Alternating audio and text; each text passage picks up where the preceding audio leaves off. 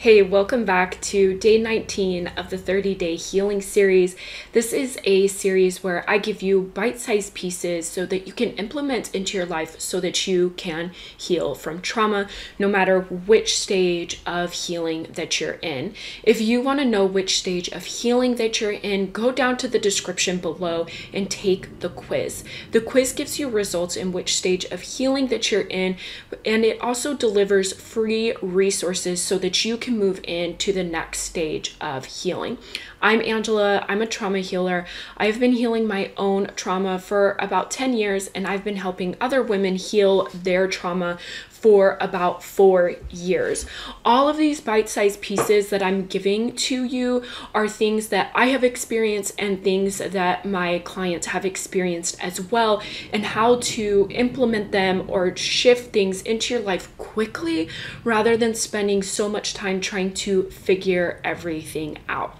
Today, we are actually going to talk about the fear of abandonment and rejection. I feel like this is so important to talk about because when we um, really struggle with this fear of abandonment and rejection, we people please, we don't set boundaries, and we show up as a very watered down version of us in our work or the people around us. And the reason why we do this is because we are really afraid of the reaction from the other person.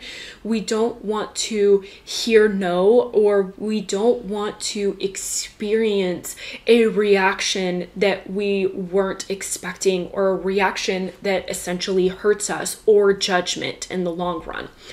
And so the reason why we don't want those things is because we all essentially want to be loved. We want to be accepted. And when someone says something that hurts us, we automatically feel rejected. And so, because of that judgment and because of that rejection, we tend not to say the things that are truly on our minds, and we tend to people please so that we hope that we get that love and acceptance in return to giving up or neglecting our own needs. And then we don't set any boundaries, even though we feel really uncomfortable with the reaction or with the behavior or the action that took place and we still do not say anything even though we know that maybe it was unfair it crossed our boundaries it hurt our feelings you don't speak up.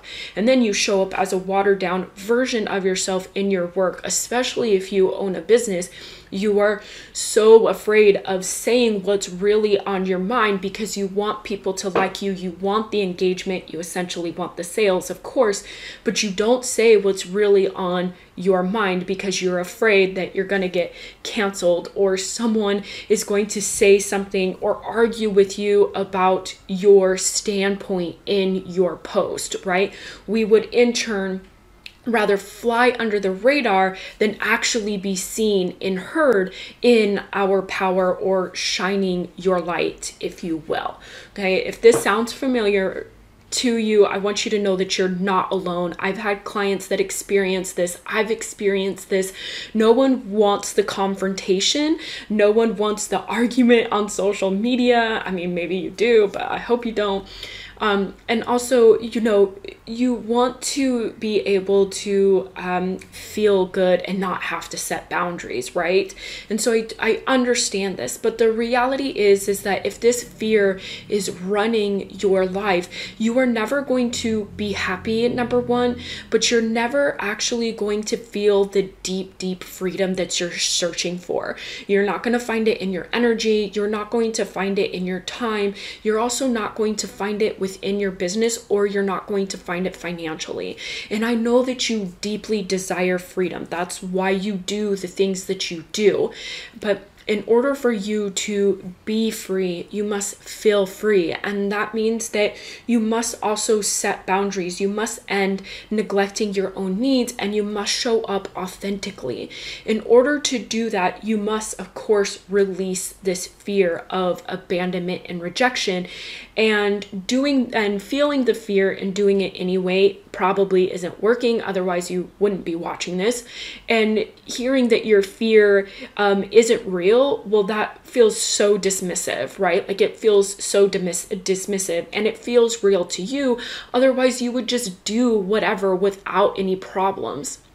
The thing is is that i do believe that your fear is real. Otherwise it wouldn't be paralyzing you and it wouldn't keep you stuck.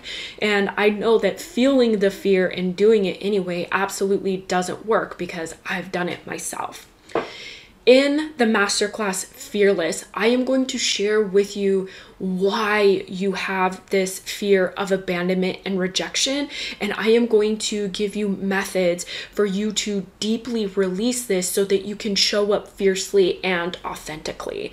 If you want to um, join that masterclass, go down to the description below. I will um, leave the link for you to register. The class is May 22nd. There will be a replay available for those who register. So if you really, really want to deeply heal this, that's the place to do it. There's only so much I can do for you in a 10 minute video. But what you can do right now, because this is all about being able to implement these things into your life, what you can do is start to lean into this fear. I recommend getting a journal. It doesn't have to be anything fancy. I talked about journaling on day three of the 30 day healing series. I will link it for you in the description if you um, need some information on how to journal. Absolutely, I'll leave that for you. But you want to lean into it and I want you to act as if it's really happening. Like, what if you really do get abandon and rejection. Like, absolutely go in there and lean all the way in. What happens is, and I've talked about this a few times through this series, is what happens is, is you take the power away from this fear and you show up more authentically. You're more willing to set boundaries and end those people pleasing cycles where you're neglecting your own needs. So again, if you want to deeply hear, uh, heal the abandonment and rejection wound, join me for the Fearless Masterclass. Um, but if you want to start working on it now, you can lean into this fear to take its power away. All right, see ya.